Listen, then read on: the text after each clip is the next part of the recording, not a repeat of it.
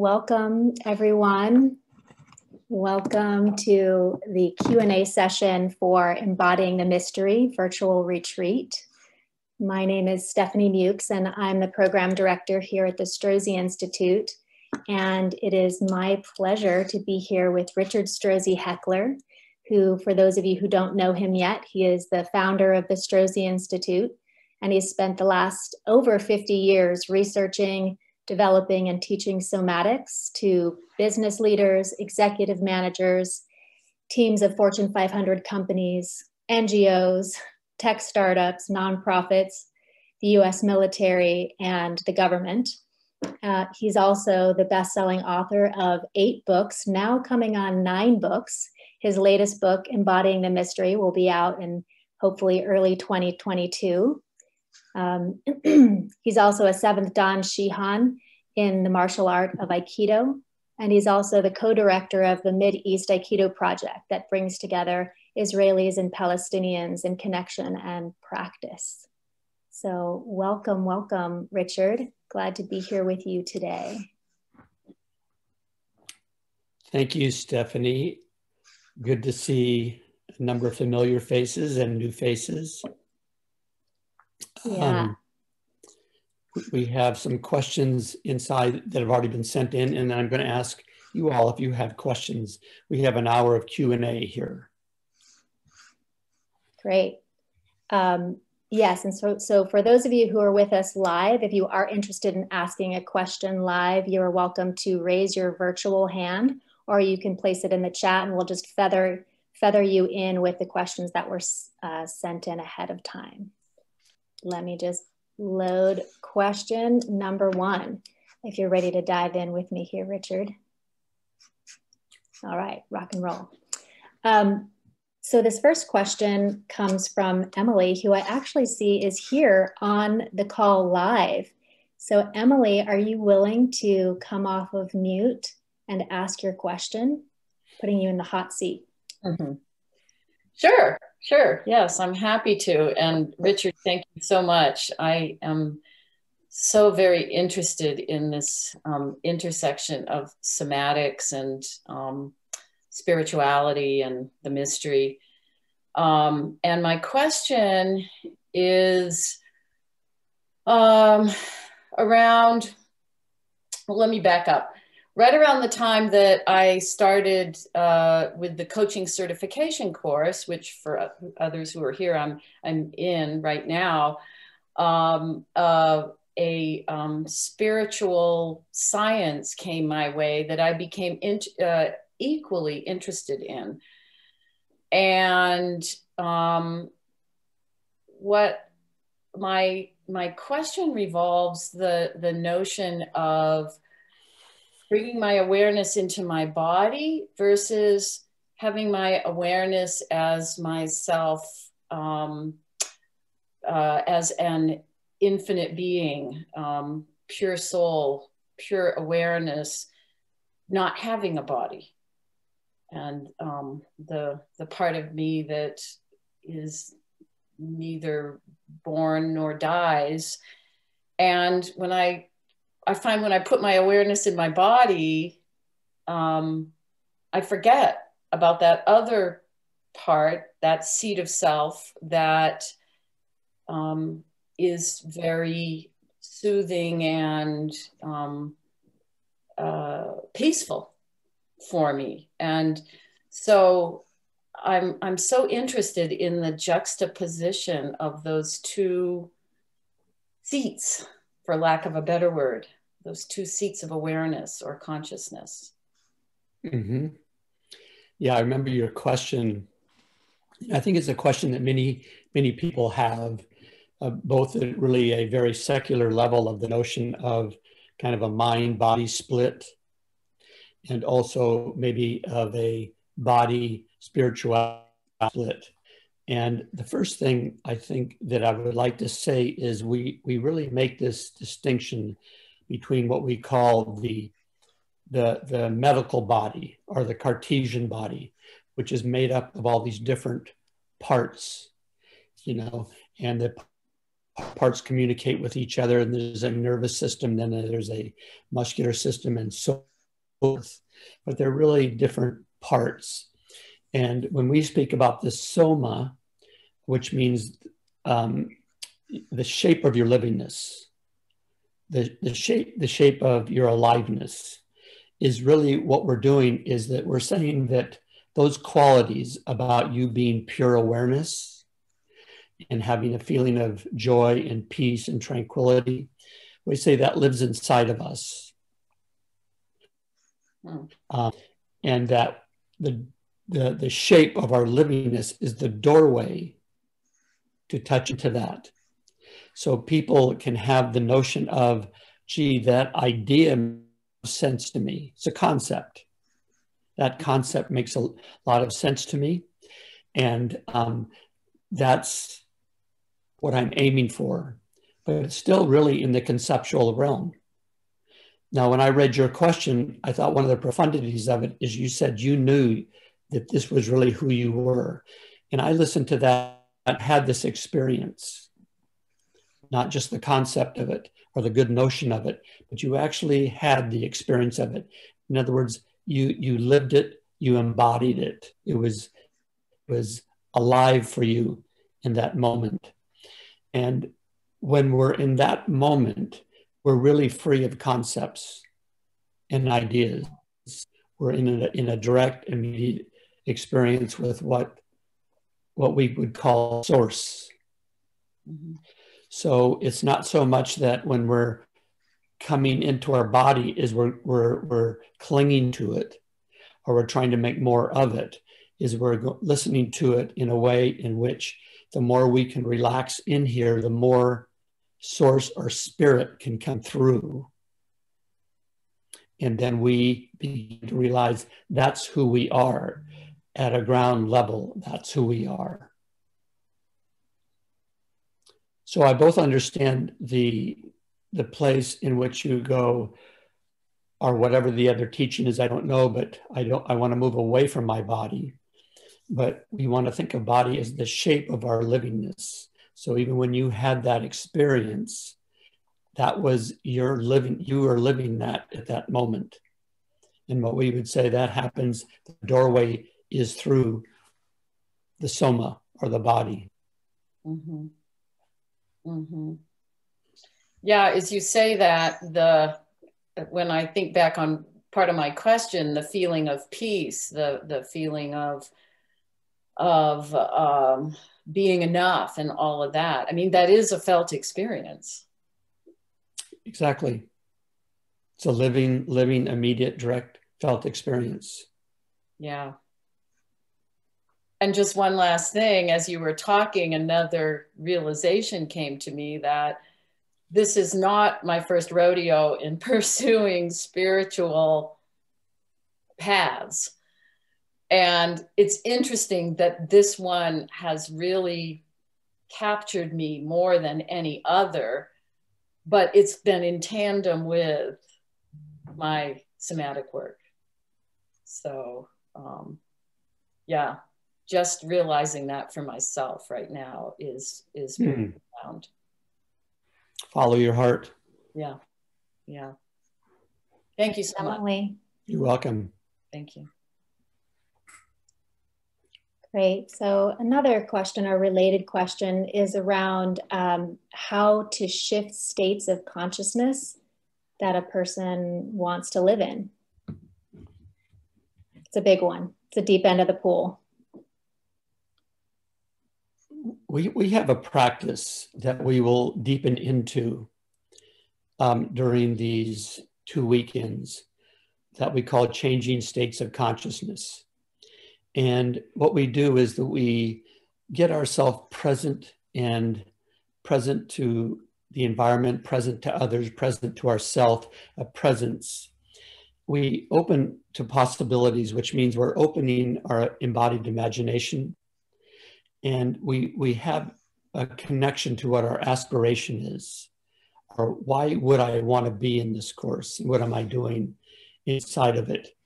And then we do a practice in which we, we, we make distinctions between really commonly held states of consciousness. For example, we know that there's places where we're worried and we look at the future and we go, how am I going to do in COVID? Or will I have enough people in Texas, enough drinking water? Or we might be looking in the past. We're worried about the past. Did I say too much, say too little, and so forth. That's a, per, that's a state of consciousness. And then we develop in this practice what that actually feels like. What is the sense feeling of that? And then we can say, and there's another ring around that, another dimension. And let's say we would call that a, a feeling sense. So we can switch from the thinking self to the feeling self. And then we go through that distinction of like, what, what does it mean by turning our attention to our feeling self that we actually begin to realize that we're larger than this medical body, that the tissues and the skin aren't just boundaries that hold us in. We're wider than that, and we can feel into the room and what's in the room. And then from there, we make a distinction. Let's just call it the energetic body. You know, people will throughout time will have different names for these kinds of things. But the energetic body is similar to what quantum physicists might call that we can actually reach out through the universe and actually touch others who aren't in the same room with us, maybe even not the same house, but outside and and that that's that's by doing this practice over and over again in a number of different ways, we begin to develop a map or like a GPS for ourselves that goes, oh, I'm really in my head now. When I'm in my head, my, my, my life is narrow. My life has very little depth. Um, it has a low ceiling. And I live in this kind of fear space. So if I take a moment, because I built this map, I can then move into the next bigger space and the next bigger space and then the next bigger space. So that's kind of um, uh, cliff notes about changing states of consciousness, but it'll be a, a fundamental practice that we'll do over and over again in our time together.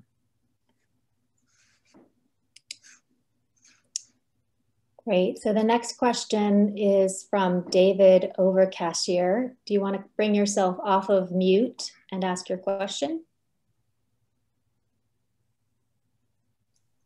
Yes, yes, yes. Hello.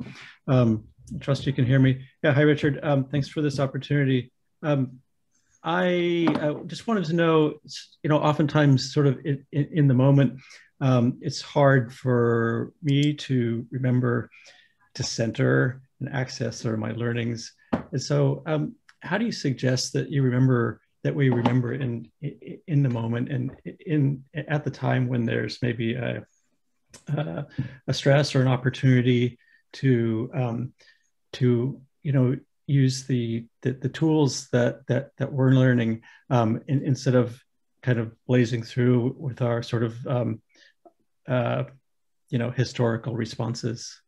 Mm-hmm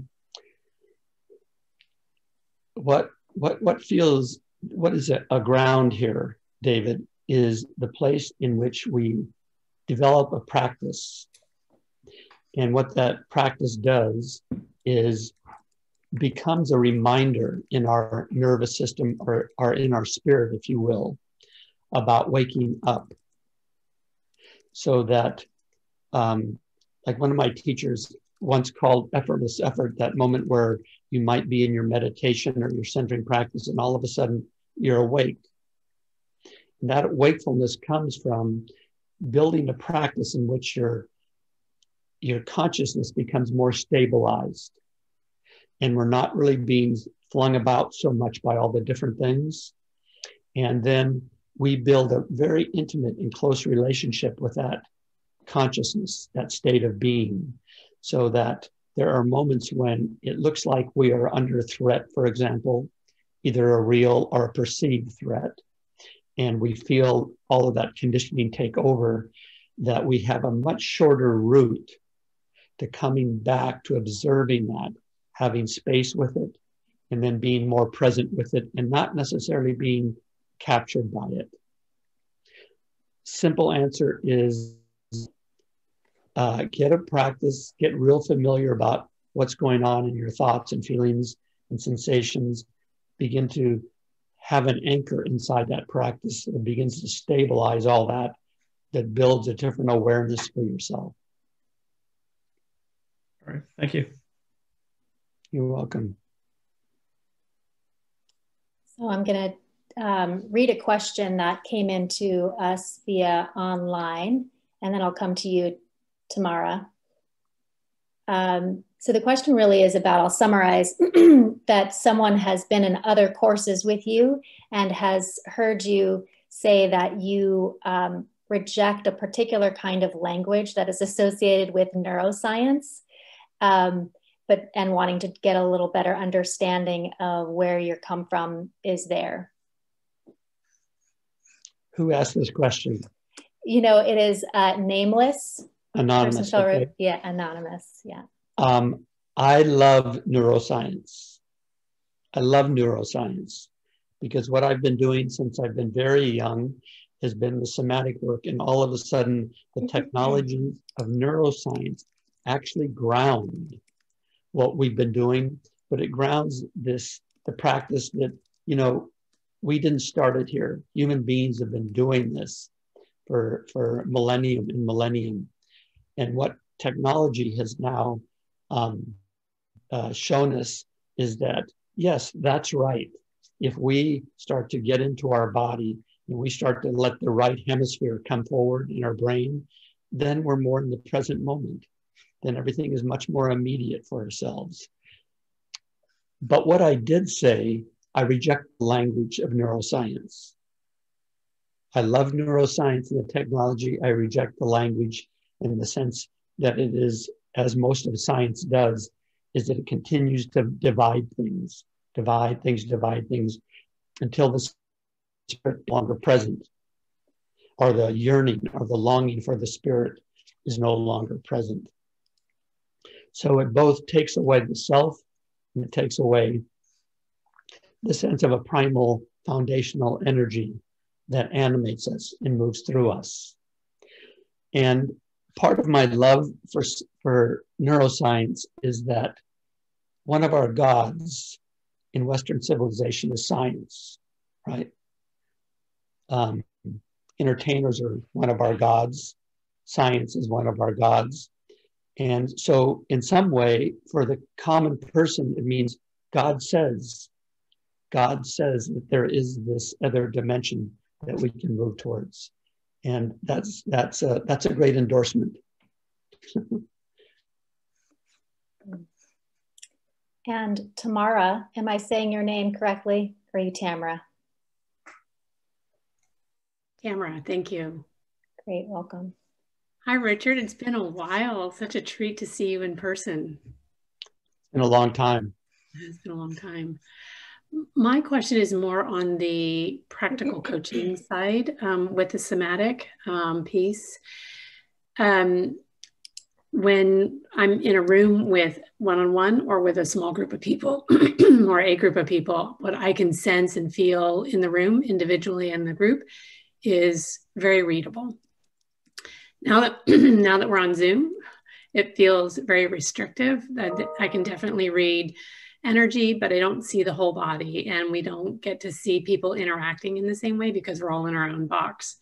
And while it's allowed me to expand my business to anyone who has a Zoom connection, be it nationally or internationally, until we get released back into public, what are your thoughts on how to build that credibility piece it's it's not so much once i've engaged with someone to coach them it's their credibility piece on what i can see about them and how they move or how how how they're moving um, reveals who they are and where some of their breakdowns may be. And that bridge is something i'm finding challenging right now because of the um, zoom environment.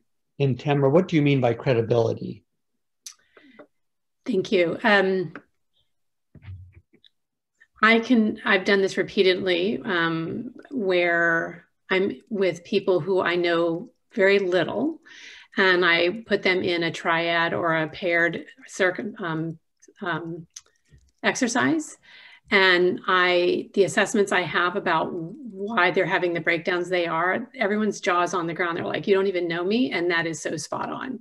So when i do that with one to six people and not only the person i'm speaking to but the other people get it it's like I don't know how she does this, but holy cow.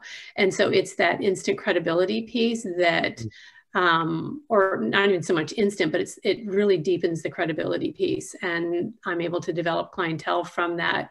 When it's more you and me on a box in a Zoom call, there's things I can sense and feel, but it's not. I don't literally have the whole picture of your body, and you're not engaging with someone else. So I feel I've my experience at the moment is my ability to read them is limited.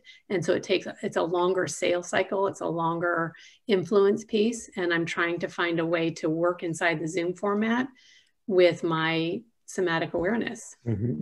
i would say you know there's a there's a book called on the internet by hubert dreyfus. And um, it, uh, he's passed on um, uh, professor of philosophy at uc berkeley but he pointed out how on Zoom, people starting to do Zoom teaching, even some years pre COVID, very hard to read mood electrically.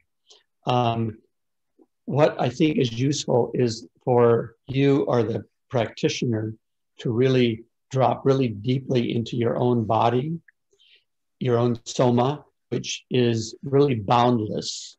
Mm-hmm. You know, I mean, the medical body is bounded, you can have boundaries, then it's really boundless. And really to allow yourself, when you say feel into, you don't see their body, what you're really feeling into is the shape of livingness, how they run their energy, and how they are being with their energy. So you've been doing this a long time, I know, Tamara. So really let yourself uh, trust that part of yourself in doing that. Okay, great. Thanks so much. Mm-hmm. So the next question, I want to invite Matt Perry to come off of mute. He has let us know that he submitted the question about neuroscience and he has a follow-up. So Matt, will you take yourself off of mute and ask your follow-up? Thanks, Stephanie, and thanks, Richard, for answering the question. And I, I wasn't intending to um, send in that question anonymously. Um, what I've noticed, and I was hoping you could address, was there's a biomechanical model of understanding humans that seems to be rising. There's evidently a God gene. There's a part of the brain that is our God resides in. And I find it very distressing. And so that's, so the question I think is about that. It seems like the language of neuroscience seems to be feeding into us as these mechanical creatures that seem that are encased in flesh. And I wanted to expand the question to embrace coaching because there's so much precision in your uh, in your model about understanding um, shapes and that we're always practicing something. So working with clients, it's super helpful to be very, very clear about certain things and yet allowing this openness for the mystery of things that we don't necessarily understand at the same time that are coming in in very different ways. So this, to me, the question is also about the need for precision, yet an organic understanding of mysterious principles and how you fit those together in your coaching work. Mm-hmm. Yeah, thanks, Matt if I if I understand your question, I would I would say that we're always living in a um, this dynamic between the relative, absolute. Let's call it the relative and the absolute. You said mystery. You said yes, and we do have arms and legs, and we're gesturing and we're talking, making utterances, and there's one really does feel like the mystery and one feels like this place in which I have to make the kids sandwiches, I've got to pay my bills, and we are involved with that kind of thing. And I think that really we can move towards a more complete model if we really allow ourselves the long view of um, really seeing humans as being inside of that particular dynamic all the time. And at least from my view, I think one of the pieces inside of human being, all human beings, that's a big statement, but all of those I've ever met, is there is some kind of a longing for the greater or the source or the mystery or the absolute, whatever is it that, that's, that's calling you at that time. And um, we, we, we then begin a certain kind of marriage between that way of being, that level of awareness, and that level of consciousness, that level of vastness in space, to here we are right down here on earth. And we're having to do these things daily that will take care of me and I'll take care of my loved ones and I'll contribute to the community. And when you say how to do that, how can we do that? Um, I would hold that's really the mystery. And who who is this? Who is this Matt? Or who is this Richard? Or who is this Tamara? That one can hold those two big pictures, and in holding those two big, listen to the energy of it, and allow it to inform us about the actions we were, can best take that will be most skillful like Lao, Lao Tzu said, the, the place where the mud starts to clear and we see there's the opening to it. And I know you've been doing this a long time. You can see in some people it's just we need to settle first. We need to settle all those mutterings and all those mental cajolings and cognitive thoughts. And then we see then there's a space that's involved in, and I can join that space. Concerns that are more granular.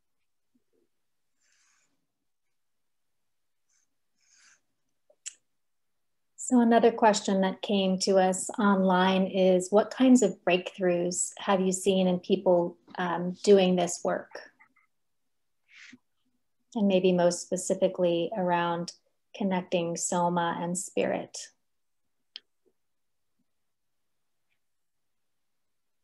That the things that would I call it the, the those those thieves of our attention,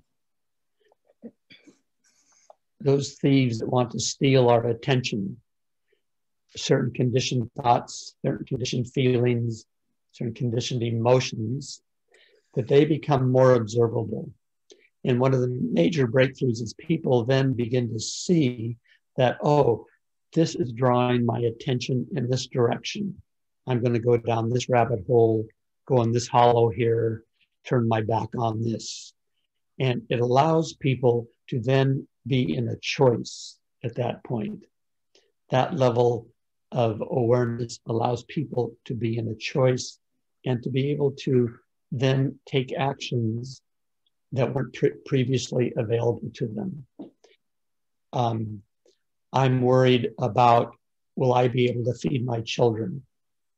I'm worried about COVID. I'm worried about climate crisis. I'm worried I said too much. All those things I said previously. We go, that's just mental gymnastics that are running. And our conditioning has us go, that's me. By living in the life of the body, we begin to see there's much more space than that inside of that space, I'm not so caught up in all these ripples and waves up, up here, but I'm in deeper in wider waters. Do I have to take care of some things? Absolutely. But there's a whole bunch of it that it grabs me or, or steals my attention that I don't have to go with. Great, thank you. Um, Connie, I see your hand is up. If you want to bring yourself off of mute and ask your question. Yes. Hi. Hi, Richard. Good to see you. Hi, Connie. Um, so my question is how you will address all the different skill levels of people who have been on the somatic path for a while and others who are completely new to the field. How how you will hold this in, in, in your practices and yeah, that would be helpful. Yeah, thank you for that, Connie. To begin with, um, I will ask everybody really to take the long view. I think it's really necessary to take the long view. We're, we're not going to we're not going to solve racism real quickly.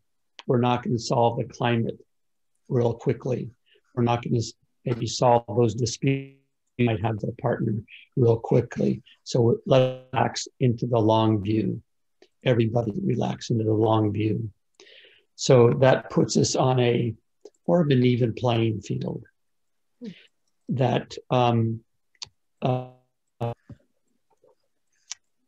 also the place in which um, we begin to see that there's this disparity between, oh, there's people just beginning the somatic path and other people who've been doing spiritual practice through the Soma for a long time, that there become kind of a morphing. In other words, we're in community, we're all in the same dojo together, and we're all training together. And those that, that maybe have been on this path more uh, and taking the long view will go, everybody is going to be a great training partner for me because inside of that, I'm a communicated learner and I have learning then.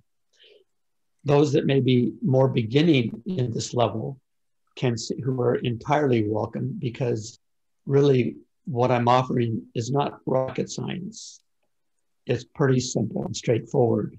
But what they get to see is that there's a there's a community here and there's a community uplift that begins to happen. And I may not even notice that right away but over time and doing the practices, um, uh, that will begin to appear and reveal itself. It's a little bit like um, we're in San Francisco, a foggy night in San Francisco. It's a heavy fog. We go out and we hardly notice it because we're used to it. And we walk maybe six, seven, eight blocks. And by the time we get to the friend's house, we realize, oh, I'm wet we didn't realize I got wet right away. I got wet over this voyage that I'm on, and it kind of seeps into me. Um, and that. So the other thing is is that the basics that we will always practice. So you've worked with me over time, is that we will return to those, and those are the foundations throughout our whole lifetime and you know, I use the example of sports teams, basketball or football halftime. In the team that's ahead, you ask the coach, "What should we do?" And they go, "We just got to hold to our basics. Our basics are holding up. Let's do that." Team that's behind, you ask them, and they say, "We got to get back to basics."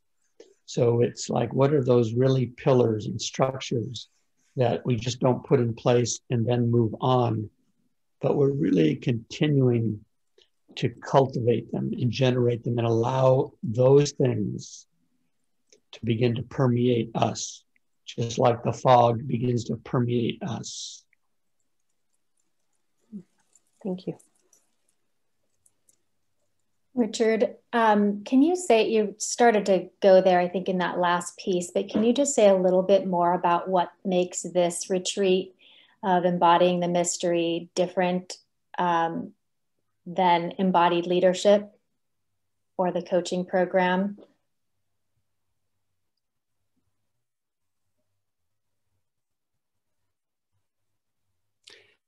We're going to have more meditation practice, different types of meditation. We're going to have more practice of shifting states of consciousness. We're going to also look at our spiritual biographies. What, what are our biographies?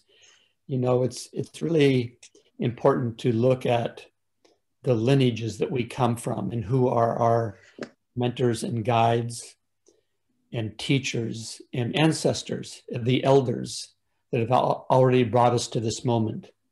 And while many of them may have been passed over or gone over, died at this point, their energy is still with us. And when we get caught up in the dailies of life, is that we we forget about that possibility that that also lives in our field of energy. They also live in our field of awareness. So um, uh, we will look much more at the notion of longing or yearning. And what does that mean inside of us? What does that mean inside of the human being, inside of the human condition?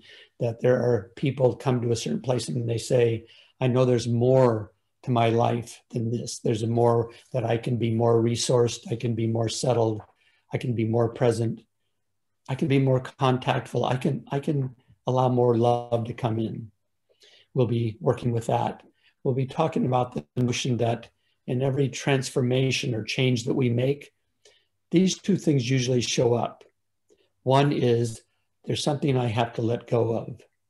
There's something I have to release. There's something I've been carrying in my pack that I have to release from my pack. And there's something I need to release or fall into. Release as letting go of something, and then surrendering or falling into something.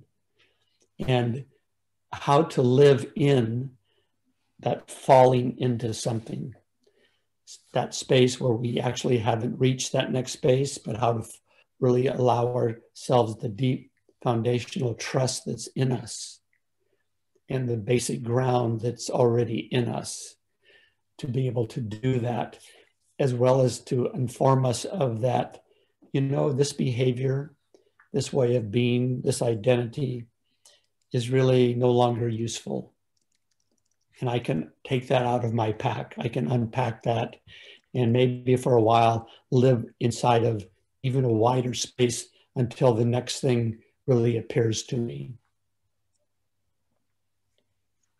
We'll be doing practices that are um, uh, will help us move the energy in our body and help us see that energy as spirit and we'll get in contact with our own stories about what do I, what do, not I, but everybody, your I, what do you mean when you talk about spirituality or spirit? Really fundamental and basic level. And how was that introduced to you? How did that happen for to you? So for just four mornings, that really seems like a lot. So I'll say, you know, in the afternoon, why don't you keep your afternoons free? Try some of these practices. Maybe be in silence as much as you can till the next morning. And um, and then during the week, I'll encourage you to do practices that will continue to allow you to uh, uh, cultivate cultivate the awareness of the wisdom and the compassion and the skill that's already yours. Um, this is a question that I just want to bring to you, Richard, of um, why this conversation now for you? What was the impulse behind writing your book at this moment in your career? Hmm a career. I I um path. Mm-hmm. Uh, you know, since a very very young age, um, the question of spirit was introduced to me by my grandmother, my matriarchal grandmother, who was a, you know, she read, she did seances, she read palm tea leaves, she read palms. Um, she was a, a mystic really, really a very special person. And um, uh, she, she, she died when I was in my early 20s, but she left a very strong imprint on me. And I, I want to tell you that story in the course because I know all of you have some kind of story like that, that it just dropped a seed. And maybe it was a seed into hard pan, but it had enough water and it had enough soil to allow it to come to some fruition. And I've, I've always had that. It, it really is a basic come from. Um, and had developed many practices with that. And then as I began to work with, I, I could allow that to leach into, seep into individuals. But when I began to work with teams and organizations, if I brought that in, even if I brought in, now we're going to stand and feel our bodies, people look at me like I was crazy. You know, what do you mean? My, what does my body have to do with anything? You know, so I'd look at me side eye, or if I said, I want to introduce you to meditation, and I saw they had a picture of Maharishi over their heads with a big white beard or something, that's what that meant. Or, you know, I'd been doing martial arts since I'm 12 and they saw Bruce Lee. So I thought, boy, that's a, that's a big, that's a big speed bump. So, you know, I would bring that in, slowly bring that in. And as time went on, you know, what Jon Kabat-Zinn has done with mindfulness, which is digestible and now a now a post post capitalistic commodity too, which we throw our which we get caught into. Um, however, uh, there's a much more opening now to that, and and and there's a urge inside of me to allow that to come out. And I don't I hold that I'm a spiritual friend. And I hold that I've had certain experiences that have come from really being fed generously by, by exemplary teachers, just exemplary teachers, and then doing practices that they encouraged over a long period of time, well over, well over 50 years, really. And, um, uh, and seeing that number one, there seems to be this ongoing kind of conflict between what we call body and what we call spirit. There seems to be, we're in this time which is catastrophic. We're in a catastrophic time. There's global pandemic, there's global anxiety.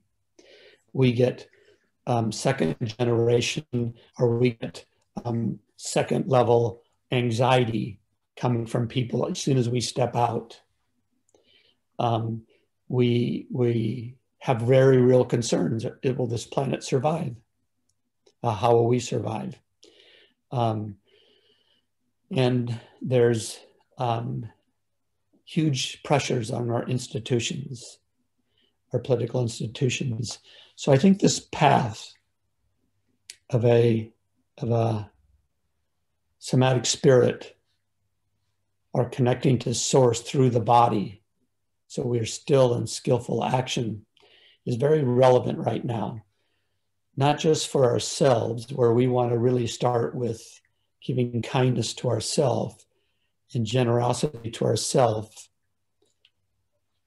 so that we can also expand that to others, that we're not doing violence to others. We're fighting for what we care about. We're taking stand for things. Um, I'm holding myself and other people's dignity but we're not we're not we see we see that violence is a very very oblique piece that we can't expand what's possible for ourselves on this planet for right now. So it seems timely you know and maybe not done this if i would have done the usual meditation retreat that i do at the ranch every year and brought more of these things into it as i as I'm freeing myself and as I'm in these things, I would have brought more of that into it. But COVID makes that difficult. So here we are, and we're here with a lot of people and with a lot of um, different ways of coming into this question. Mm. Yeah, thank you. Um, and just work for this next little bit of time, I want to take some of the questions about specifics around the retreat And just right now, to let folks know if you're wanting to know more about the Embodying the Mystery retreat, you can find out more details and actually go ahead and register um, at embodyingthemysteryretreat.com. And um, really, as we kind of dive in here to some more of the specifics about what will happen, um, there's a question about what if people can't make the session live? What's your take on that? Um, I think that the, the, the session will, will, the session itself, the retreat itself, either one session or entirety, will be valuable to people, um, um, even if you're not there live. I think that if we, even though we're working through electricity and it's more difficult to really feel people, it is a start in what we're doing to really feel each other and feel community in places where people will get into small groups, have conversations, it enriches the program. But yes, you can. So I, I that's that would be that would be best. Um, if you can't do those things, then I think that you'll still find value out of it. I know places where I'm doing that, where things have been re-recorded, pre-recorded. I'm not able to ask questions, but they're valuable to me. Mm-hmm. That goes right into this next question: if, if folks will be able to ask you questions live during the retreat. Absolutely, absolutely. We'll always have a place for for questions live. Mm-hmm. Great. And um, how much spiritual practice or experience does a person need before, and I guess we could throw in there too, somatic practice um, to join the retreat?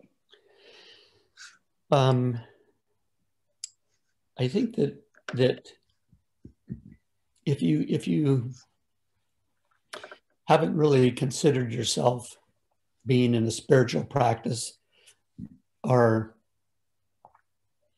some spiritual path that there's still you're still a spiritual being.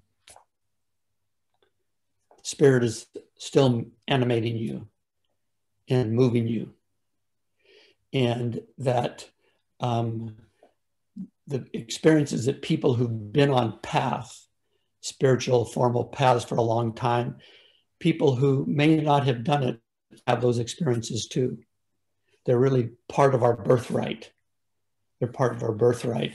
And um, really, what it requires is that we, we find a way of settling into that wisdom that can be seen as a practice.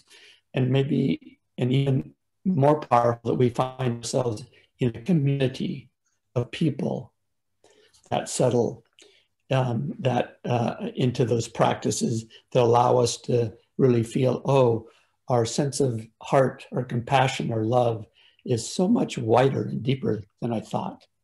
Um, my capacity, my capacity for really being skillful in my action. What's too much? What's too little? Um, where can I be more steely like? Where do I need to open up?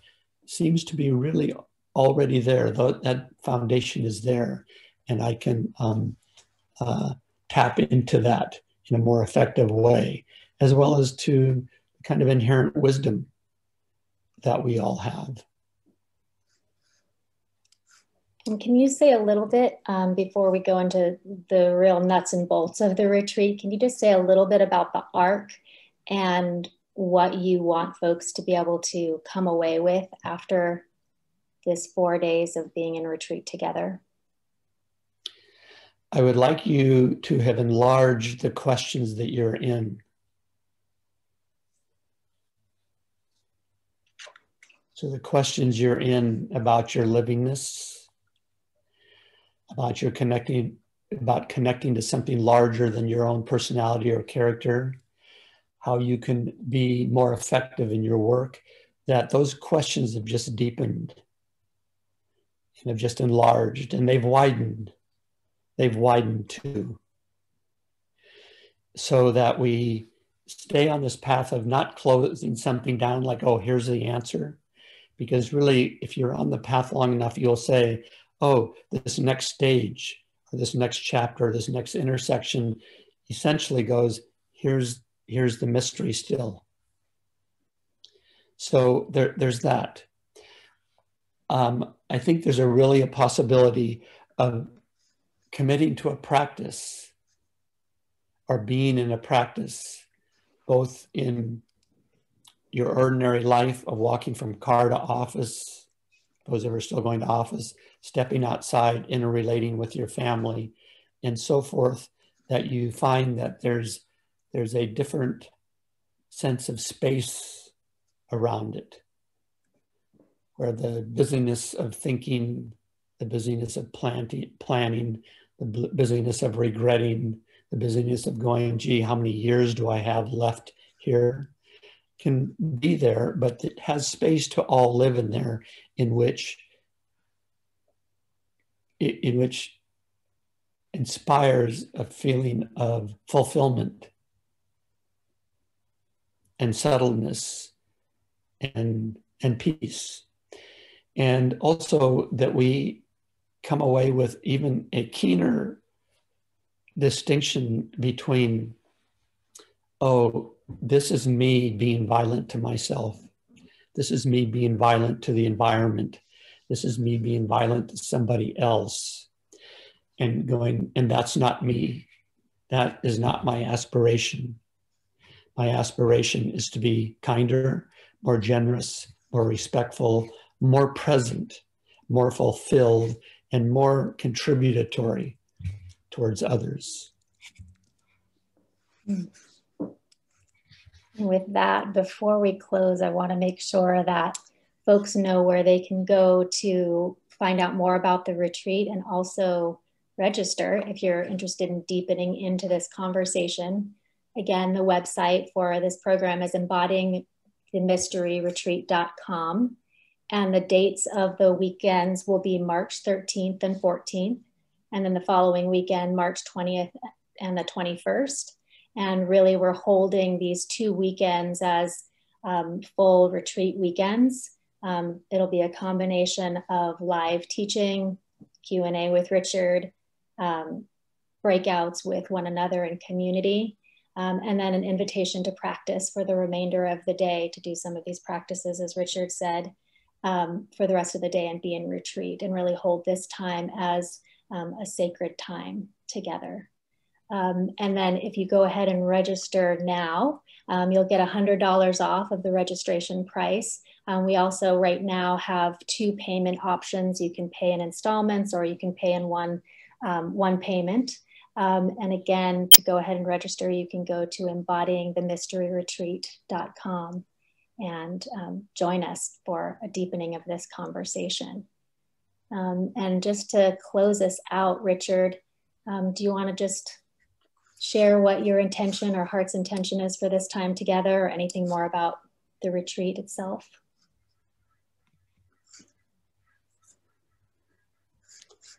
I know there's a lot that, that I'm going to learn here too. This, this is the first just through this medium.